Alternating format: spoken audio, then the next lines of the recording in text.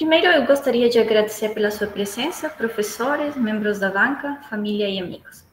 Continuação, eu vou expor meu projeto de pesquisa intitulado Avanços na detecção e localização de eventos de som usando filtros Gamaton e redes neurais temporais convolucionais. Esse trabalho foi realizado sob orientação do professor Bruno Maciero e o professor Felipe Grijalva. O projeto foi financiado pela FAPESP. Eu agradeço pelo apoio. Então, para contextualizar meu tópico de pesquisa, é preciso primeiro entender que os humanos somos capazes de extrair significado do som por meio do nosso sistema auditivo, que nos permite identificar e localizar fontes sonoras no ambiente. Importante também para, para pensar que a capacidade de escuta, além de colaborar com a nossa sobrevivência, nos ajuda também a interagir com outras pessoas e, em geral, com o ambiente ao nosso redor. Com o objetivo de estimar de onde provém o som, o sistema auditivo codifica a pressão sonora que chega nos ouvidos e a transforma em informações que podem ser interpretadas pelo cérebro. A diferença entre o tempo de chegada do som na orelha ipsilateral, que está mais perto do som, e a orelha contralateral, que está mais longe, é conhecida como diferença de tempo interaural. Pode-se ver que o som chegou primeiro na orelha esquerda, que está mais perto da fonte de som. Além disso, Hum, o som também é refletido pelo torso, a cabeça e o pavilhão auditivo. Isso termina filtrando o som que chega na orelha contralateral, como pode se ver aqui na figura na direita, onde a orelha esquerda, nesse caso, tem um sinal mais atenuado. Essas diferenças de tempo e nível são conhecidas como pistas binaurais. Mas as diferenças de tempo e nível interaural podem ser ambíguas vindo de algumas localizações. Por exemplo, aqui na figura, podemos ver que um som que vem da parte de trás da cabeça vai produzir pistas binaurais fortemente correlacionadas com as de um som vindo do mesmo ângulo, mais da frente da cabeça. Assim é que apareceu o termo de cone de confusão. Para lidar com isso, o sistema auditivo também pega a informação das chamadas pistas monaurais. Estas pistas monaurais também estão relacionadas com a absorção da energia do som, mas principalmente tem a ver com a modelagem espectral feita pelo pavilhão auditivo, dependendo da direção de onde provém o som. Interessante aqui olhar na figura da esquerda como um som que incide desde cima vai ser filtrado diferente do que um som que vem da frente. Então, estas pistas monaurais servem para desambiguar sons que estão nos cones de confusão e também para determinar a elevação de fontes sonoras situadas bem na frente ou atrás da pessoa, como mostrado aqui na figura na direita. Mas, quais que são as limitações do sistema auditivo? Um estudo do desempenho da localização de sons foi feito num ambiente sem reverberação. Os resultados demonstraram que no plano horizontal, a estimação do azimuth foi mais acertada quando bem da frente do que das laterais ou da parte de trás da cabeça. E aqui no plano vertical, as estimações do ângulo de elevação com maior erro são do som que vem da, da parte de trás da cabeça. Sobre a capacidade de percepção de múltiplos sons, foi demonstrado que assim que o número de fontes de som aumenta, a acurácia da localização decai. No gráfico, as caixinhas pretas representam as fontes de som e as barras o número de estimações.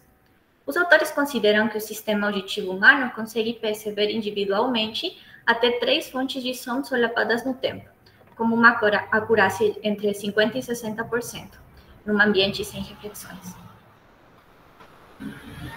Então, se a nossa escuta natural percebe sons vindos de todo o espaço ao nosso redor, porque a maioria do áudio que a gente escuta não mantém a informação espacial do campo sonoro. Baseado nisso, o objetivo do áudio espacial é tentar recriar essa percepção que o ouvinte tem na vida real, mantendo a espacialidade da cena sonora. Nesse projeto, o áudio espacial é usado para o desenvolvimento de métodos computacionais de escuta de máquina. Existem diversos métodos de captura de áudio espacial como usando uma dummy head para gravação binaural ou arranjos de microfones de diferentes ordens que amostram o campo sonoro. Nesse trabalho, o áudio espacial segue um conjunto de princípios de gravação, codificação e reprodução que é conhecido como ambisonics.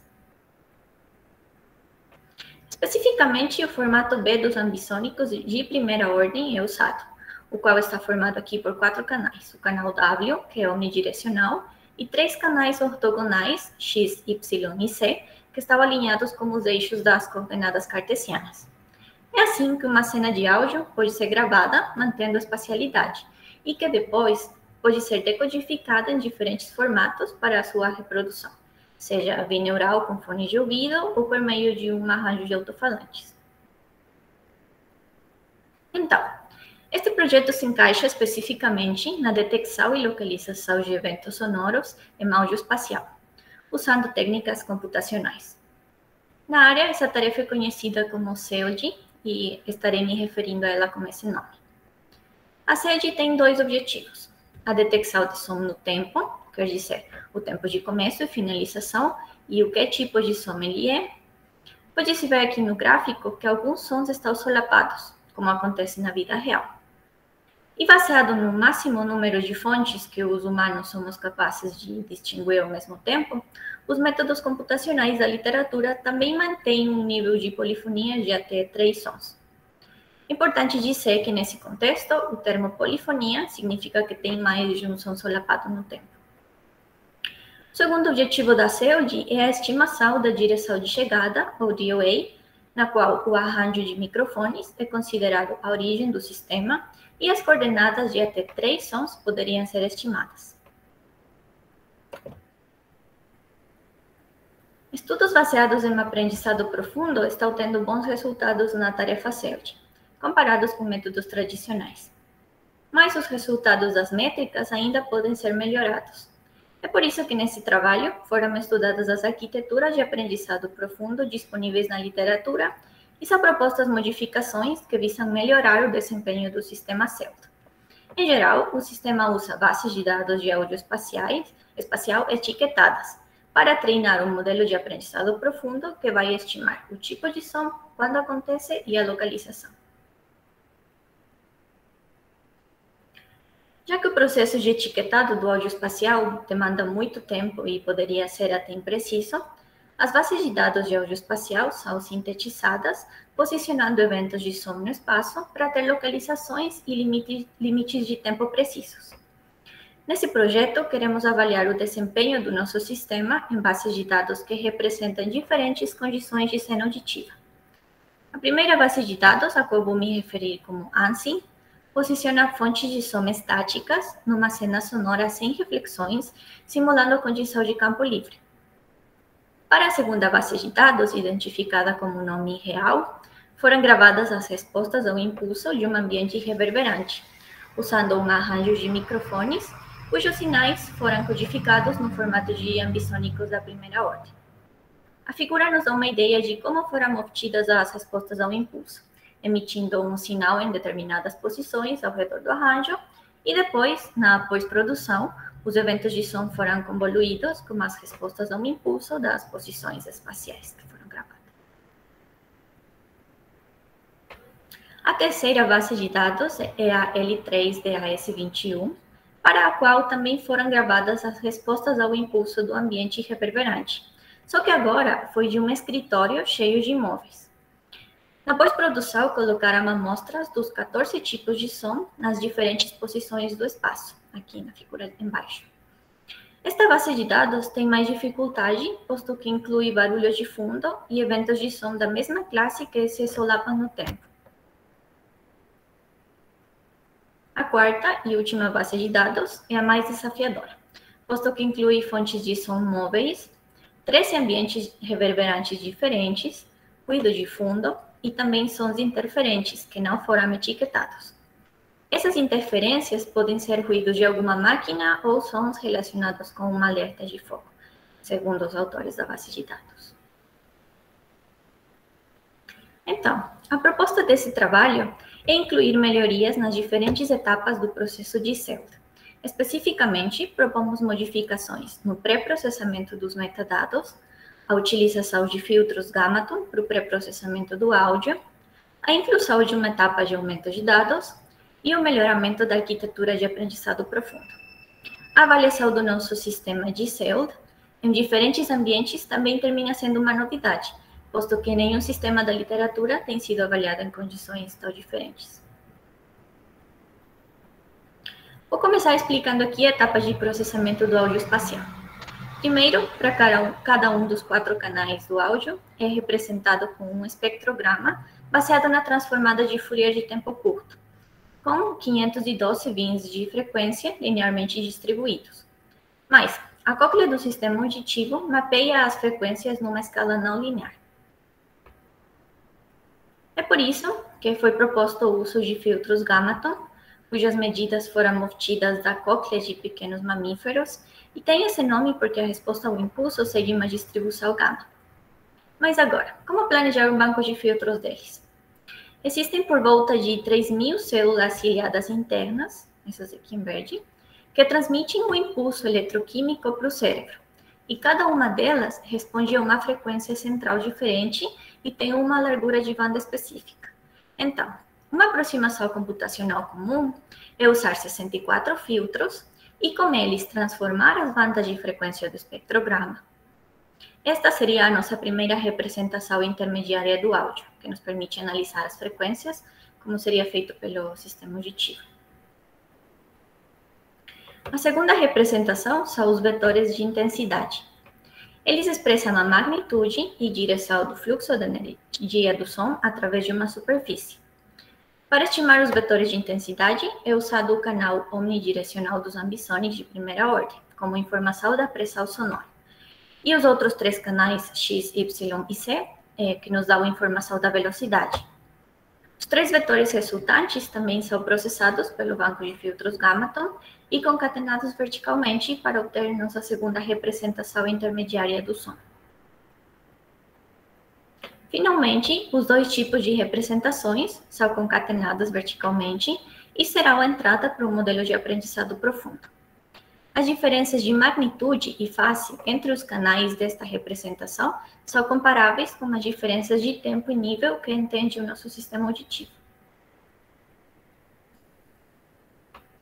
O pré-processamento dos metadados também foi melhorado, como eu falei, para suportar até três sons vindo de diferentes direções, mas que sejam da mesma classe. Isso não era feito pelos sistemas da literatura. Vamos ter uma etiqueta dessas aqui a cada 100, 100 milissegundos. Ela contém informação da classe e da direção. Então, temos diferentes cenários. Quando acontecem até três sons ao mesmo tempo, mas eles são de diferentes classes, eles são armazenados nesse primeiro vetor, que tem tantas colunas é, como número de classes na base de dados. No caso de ter dois sons da mesma classe, um deles é armazenado num segundo vetor, para evitar que seja sobrescrito. E no caso de ter três eventos de som da mesma classe, o terceiro vetor também será usado. Como o processo de sintetizado e etiquetado das bases de dados é complexo, as bases terminam tendo um número reduzido de amostras, que não são suficientes para treinar a rede. Para isso, implementamos três técnicas de aumento de dados para áudio espacial.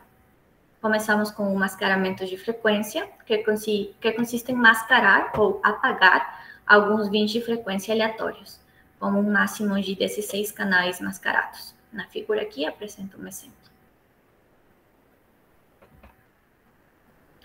Para aumentar o número de posições de onde provém o áudio, adaptamos uma técnica que troca os canais dos ambisonics de primeira ordem para mudar a direção. Vou me ajudar como exemplo aqui. Vamos considerar o ponto original XYC, cujas coordenadas foram transformadas para YX-C. Pode-se ver aqui que os ângulos do primeiro ponto eram 90 graus azimuth e 40 graus elevação, e passaram para ser 0 azimuth e menos 40 para elevação. Essa é uma das 16 possíveis transformações que são selecionadas aleatoriamente para cada áudio. Importante falar também que as etiquetas nesta técnica de aumento de dados também precisarão ser modificadas. Do mesmo jeito que os três canais do espectrograma foram modificados, também mudamos os vetores de intensidade. É um pouco difícil aqui analisar no exemplo, mas vamos notar que o sinal W ficou igual Y e X trocaram de posição e C trocou de sinal. E a mesma coisa aconteceu com os vetores de intensidade.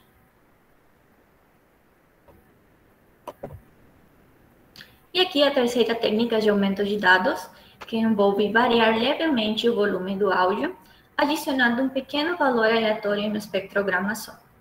Na figura vai ser difícil de apreciar, mas na direita temos uma amostra na qual aplicamos magnitude aleatória. Vamos passar agora para a arquitetura da rede neural. Ela está composta por três camadas convolucionais, um bloco de convoluções temporais, duas camadas de redes recorrentes e duas camadas densas. No final, a saída prediz a subtarefa SED e DOA. E agora a seguir vou explicar o papel de cada tipo de rede na arquitetura. Primeiro, as camadas convolucionais, que são responsáveis pela identificação de padrões e a seleção das características mais importantes. Nelas, o kernel vai processar pequenas seções do mapa de características com o objetivo de obter um mapa de features reduzido e contendo só informação mais relevante. Cada camada convolucional está formada por convoluções bidimensionais, com 64 filtros e um kernel de 3x3, cuja saída é normalizada, passada pela função de ativação ReLU, e no final eh, se aplica diferentes valores de max pooling, dependendo da camada, para subamostrar o mapa de features e reduzir a dimensionalidade. A saída destes blocos convolucionais tem uma dimensão aqui que depende do termo T, que é o número de time frames em cada base de dados. Mas, já que as camadas convolucionais não conseguem extrair dependências temporais dos dados, propomos o uso de um bloco convolucional adicional que tem uma, a característica de usar convoluções dilatadas para expandir flexivelmente o mapa de features. Estas redes são conhecidas como redes convolucionais temporais.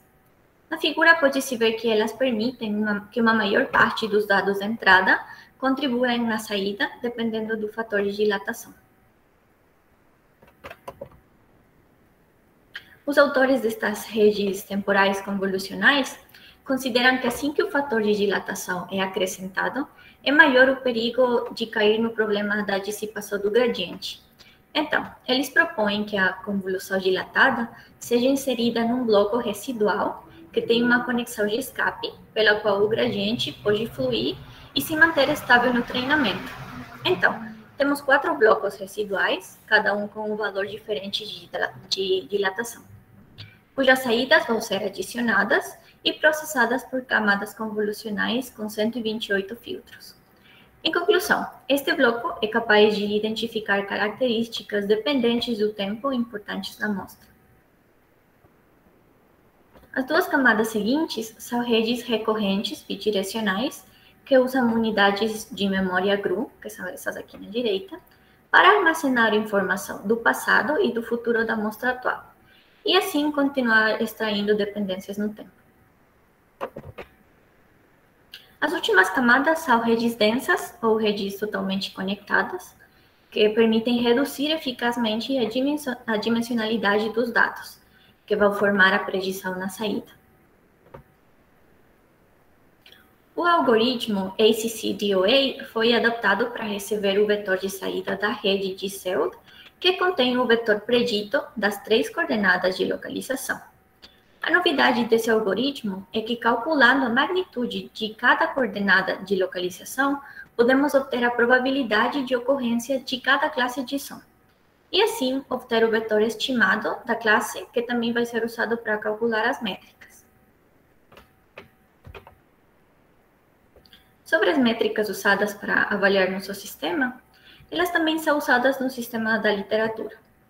Elas estão baseadas na contagem de falsos positivos e negativos e verdadeiros positivos e negativos, além também da distância angular.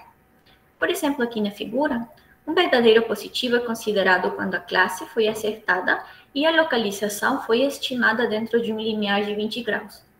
A distância angular é calculada entre os vetores unitários de referência e o vetor predito e sua relação com o número de verdadeiros positivos produz a primeira métrica, chamada erro de localização.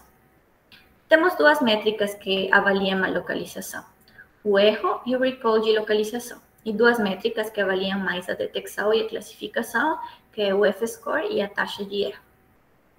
Combinando todas estas quatro métricas, é obtido um valor que dá uma ideia geral do desempenho do sistema, que é chamado pseudoscore, que está aqui embaixo. Agora, sobre os resultados. Fizemos uma avaliação do sistema para diferentes níveis de polifonia, usando dados que simulam um campo livre, e o comparamos com o sistema CELNET disponível na literatura. Todas as nossas métricas superaram as métricas obtidas com CELNET e são consideradas promissoras, posto que o sistema, como podemos ver aqui, chega a ter um recall de 99,6% quando temos uma fonte de som só, e decai para 90,5% na presença de três sons solapados. Também, como esperado, assim que o número de sons solapados no tempo aumenta, as métricas tendem a piorar. Podemos comparar parcialmente nosso resultado com um, resulta um resultado obtido experimentalmente em humanos, onde só, só estimando a localização, as pessoas conseguiram essas acurácias para uma, duas e três fontes de som. Então, podemos dizer que o desempenho humano nesta tarefa específica foi superado pelo nosso sistema. Na segunda parte, avaliamos o nosso sistema em diferentes condições acústicas. Na tabela, apresentamos a média e o desvio padrão dos resultados da validação cruzada, obtida para um cenário de campo livre, quer dizer, sem reflexões.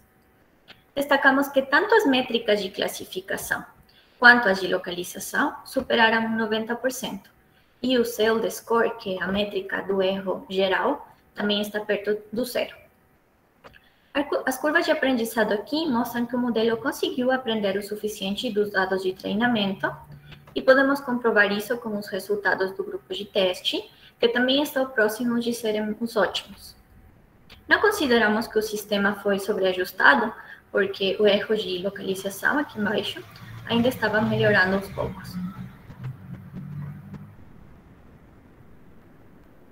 Num ambiente reverberante, as ondas sonoras produzidas por uma fonte se propagam ao longo de vários caminhos acústicos tendo o efeito de manchar algumas componentes periódicas no tempo. Isso dificulta a localização. As métricas resultantes e as curvas de aprendizado refletem que a modelagem nesse cenário ficou mais complexa. Por exemplo, a função de perda no treinamento, aqui, mostra que o modelo conseguiu aprender dos dados porque decai para valores bem pequenos, mas as curvas das métricas de validação sugerem que a generalização do modelo para o conjunto de teste foi mais complexo e não atingiu valores ótimos. Mesmo assim, o sistema tem valores de classificação, detecção e localização que superam os 78%.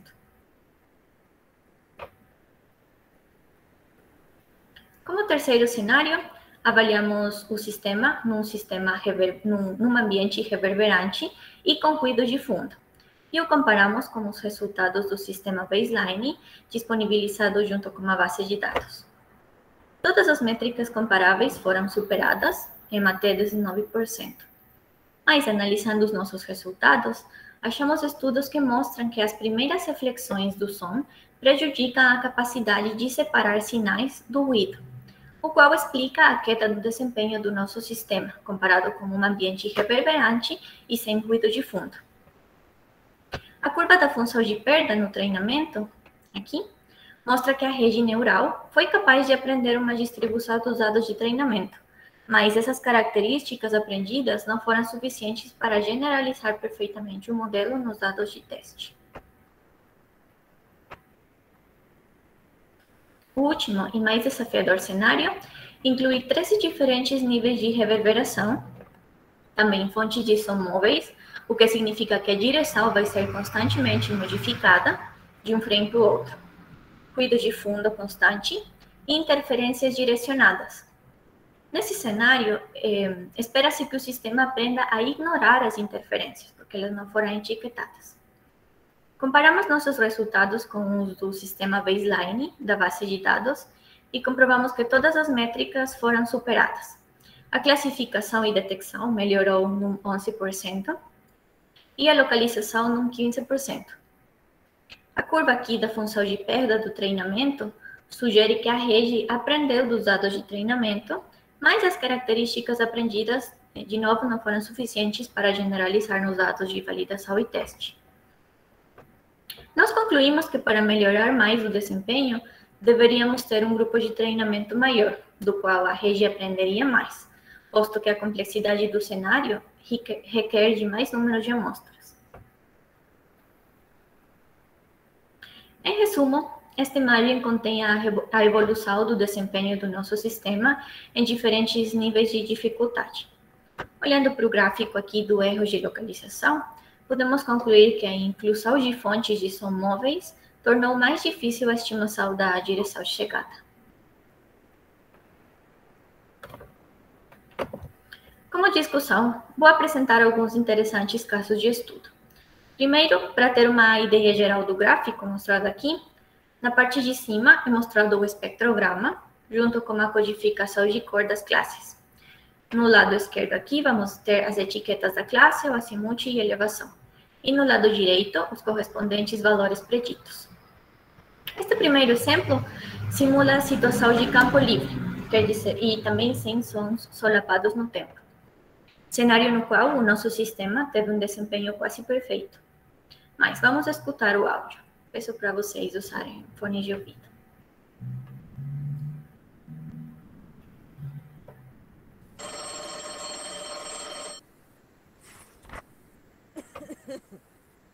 Est-ce que c'est toi qui as emprunté mon livre?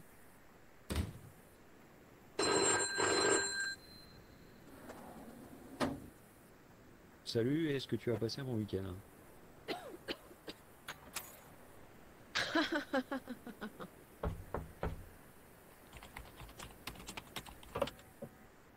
Então, nenhuma detecção e localização do cenário mais simples é uma tarefa trivial, né? Vamos para o próximo. Exemplos comprovam que a modificação na codificação das etiquetas para reconhecer mais de um som solapado da mesma classe, de fato está funcionando. Podemos ver que foram corretamente preditas duas localizações associadas dos, a dois sons da mesma classe. Vamos escutar aqui o áudio.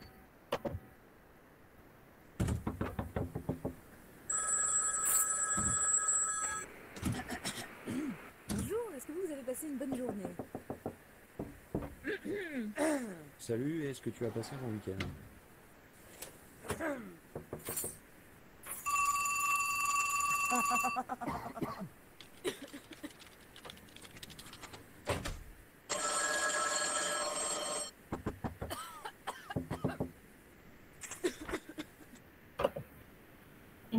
mesmo com sons solapados, o sistema conseguiu 95% de detecção e classificação e 95,7% de localização num ambiente de campo livre.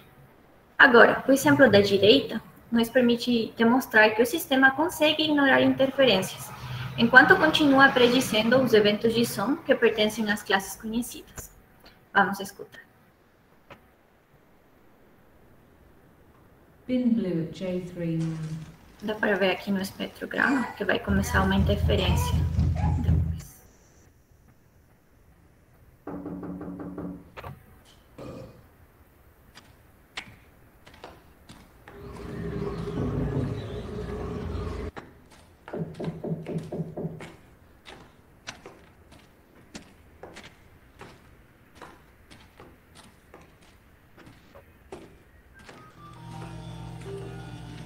Isso que estamos escutando agora, além do piano, a interferência.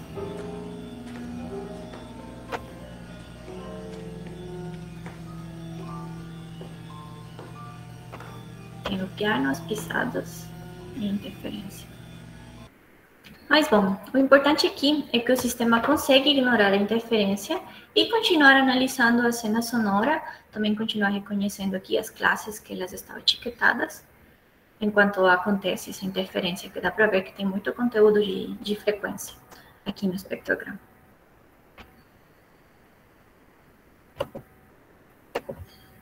O verdadeiro problema das interferências acontece quando um som das classes etiquetadas é considerado como interferência. Por exemplo, aqui na figura da esquerda, o som de alarme foi considerado uma interferência, porque com certeza um dos sons associados com fogo, que é uma das classes de interferência, pode ser um alarme de incêndio. E olha que o sistema até reconheceu a primeira amostra aqui, eh, mas decidiu desconsiderar essa fonte. Vamos escutar aqui o.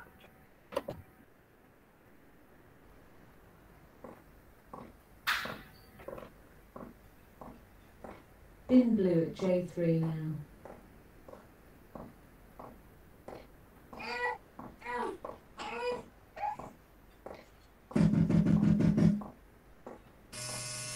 Esse é o som de alarme. O nosso sistema está considerando interferência, mas deveria ser considerado alarme.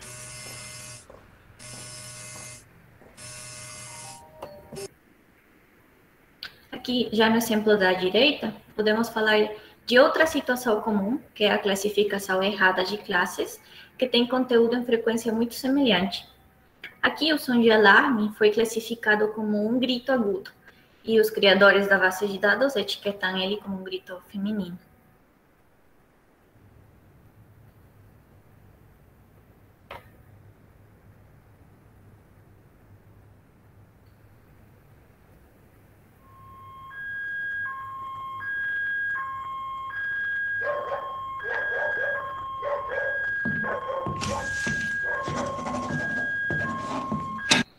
Então, podemos falar duas coisas.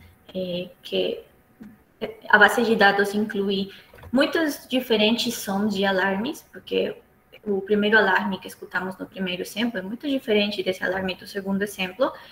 E, além disso, que uma pessoa não, não confundiria esse som de alarme com um grito feminino.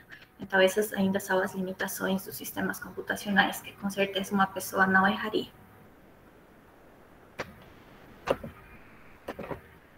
Lembrando que as bases de dados foram criadas por humanos, também são plausíveis a terem erros. Vamos escutar esse exemplo. Tentem detectar um som de pisadas.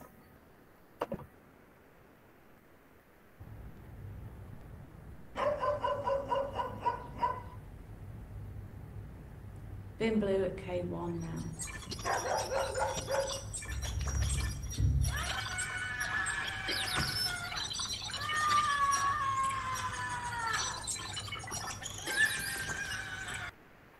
Peço desculpas pelo, pelo barulho ruim. Esse barulho tipo de videogame antigo, sabe? Foi etiquetado como som de pisadas. Mas o sistema considerou ele uma interferência, porque nas etiquetas ele aparece aqui no preciso segundo como pisadas. Mas isso com certeza foi um erro. E como o sistema considerou ele uma interferência, eh, poderíamos falar que o sistema demonstrou critério, porque não classificou esse som como alguma das classes conhecidas. Mas também detectamos o caso contrário, um som não etiquetado que claramente está no áudio e que o sistema o reconhece, mas é considerado um erro. Vamos escutar aqui.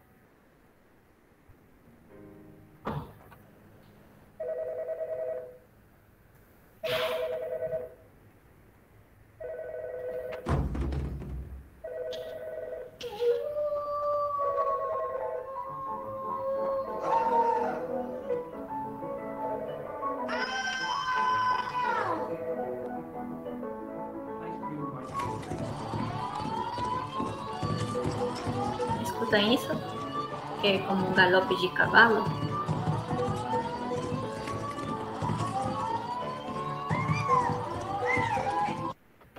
Então, deu para perceber esse, esse som tipo de um galope de cavalo, né?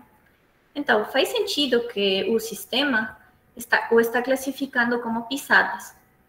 E no caso de, ser uma, de ter sido uma interferência, ela não se encaixa dentro das classes de interferências que são fogo e máquina. Então, nesse caso, poderíamos considerar que também foi um erro na sintetização dos dados das bases de dados, onde o som de fato não foi colocado. Resumindo, nesse trabalho foi estudado o estado da arte dos sistemas computacionais que visam resolver a tarefa CEUD. Foram propostas melhorias no pré-processamento, na arquitetura da rede neural, na quantidade de dados e na avaliação, com o objetivo de conseguir um melhor desempenho na tarefa de detecção e localização de sons em áudio espacial. Além disso, a avaliação do nosso sistema em diferentes ambientes também é uma novidade na literatura. Como trabalhos futuros, é, é proposta a análise do uso de transformers, ou também de redes generativas, para resolver a tarefa CERT. Também seria interessante avaliar a capacidade de classificação e localização de sons com pessoas, porque analisando a literatura não tem muitos estudos a respeito. E também adaptar o sistema com aplicações mais específicas, como detecção de anomalias ou monitoramento do meio ambiente. Mas para isso deveríamos ter uma base de dados eh, especificamente criada para esse tipo de cenários. E é isso. Obrigada pela atenção.